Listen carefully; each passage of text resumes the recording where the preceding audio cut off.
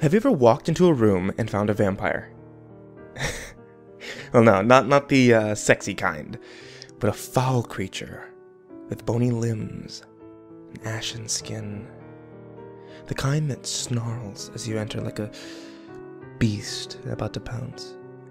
The kind that roots you to the spot with its sunken, hypnotic eyes, rendering you unable to flee as you watch the hideous thing uncoil from the shadows.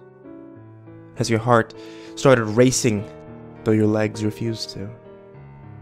Have you felt time slow as the creature crosses the room in the darkness of a blink?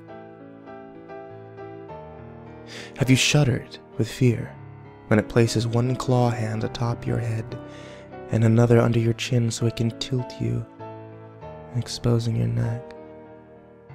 Have you squirmed as its rough, dry tongue slides down your cheek over your jaw to your throat in a slithering search that's seeking your artery.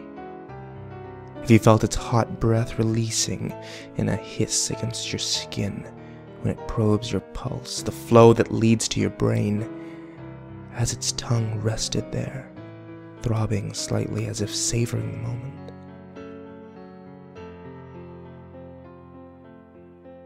Have you then experienced a sinking, sucking blackness as you discover that not all vampires feed on blood? Some feed on memories. Well, have you? Maybe not. But let me rephrase the question. Have you ever walked into a room and suddenly forgotten why you came in?